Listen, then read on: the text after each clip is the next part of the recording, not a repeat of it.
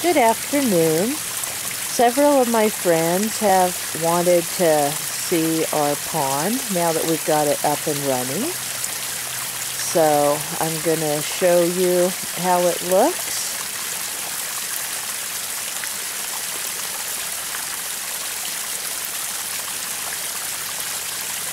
We've got a little pond on top this was a pond we had before that Scott set up at the top of the waterfall for this one. Going to pan it down a little bit so you can see this is our waterfall.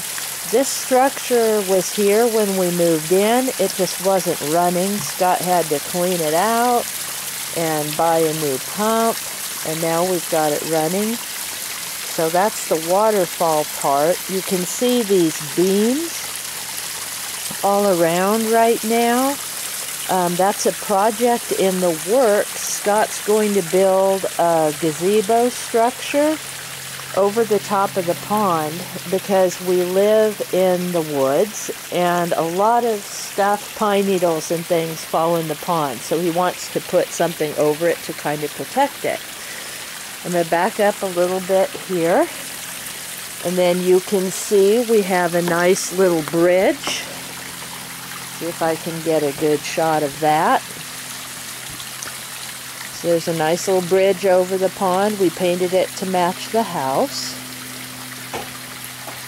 This is the back end of the pond and all the controls. I've decorated for Halloween, you can see. So I've got a skeleton sitting in a chair over here at this end of the pond.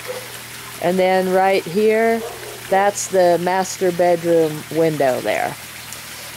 I'm going to pan over a little bit more and we'll check out the waterfall.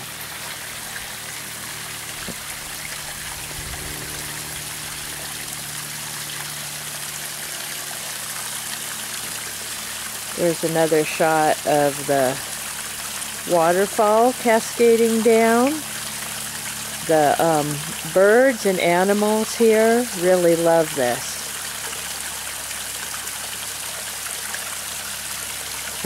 And we've got some plants that we've brought over from our old place. This is um, Scott's Japanese maple. Really pretty. It is a um, dragon leaf.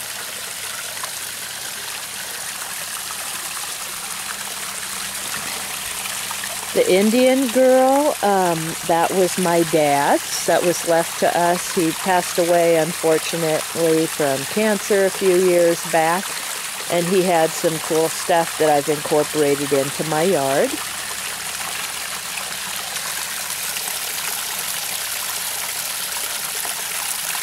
We have a nice um, creek that flows out of here too. We've surrounded it with some of our plants.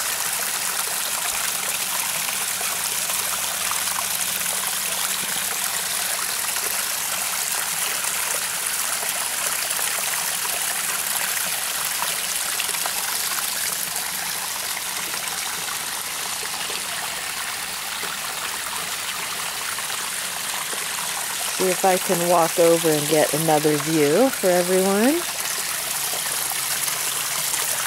A little bit farther away maybe.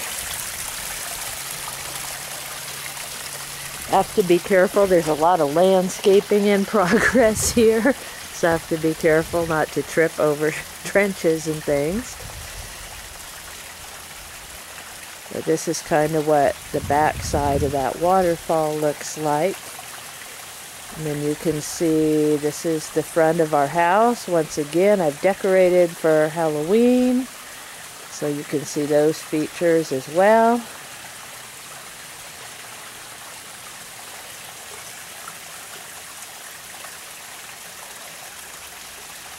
There's that pond at the top of the other one.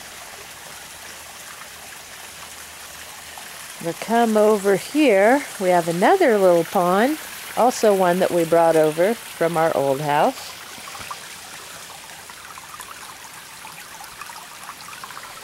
This one we've got uh, mosquito fish living in here. The other pond, we put our goldfish in it. So there's five goldfish in there. We'll see when I go back over there if I can catch a shot of them for you. Is a copper fountain I got years ago at a yard sale. Paid three bucks for it because it wasn't running. Got it home. My husband took about apart the pump and cleaned it put it back together and it worked just fine. So we've used it at a few houses we've lived in. And birds, especially the hummingbirds, love it. They'll sit right on that top tier and take a shower and a bath in there. So yeah, the wildlife just loves ponds.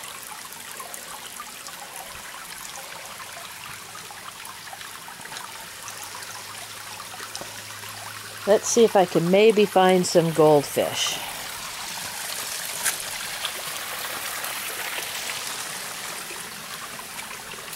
Oh, and I missed this. This isn't the greatest view of it, really. Let me get on the other side. This fountain belonged to my dad, and we got that one up and running. And I've got one of my hibiscus plants next to it.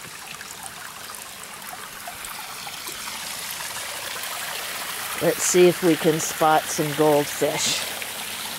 They kind of hide when we turn on the waterfall, so I don't see them right now. It kind of stirs stuff up, too.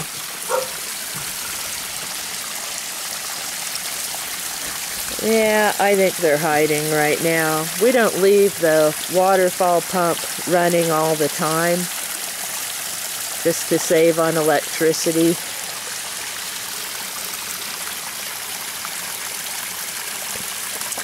But it is a beautiful little spot. And thank you for joining me on my little tour.